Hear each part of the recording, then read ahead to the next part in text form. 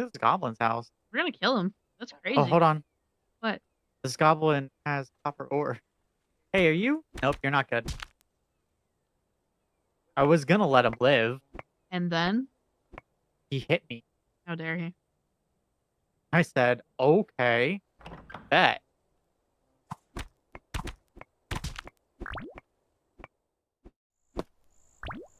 Your shit is mine, goblin.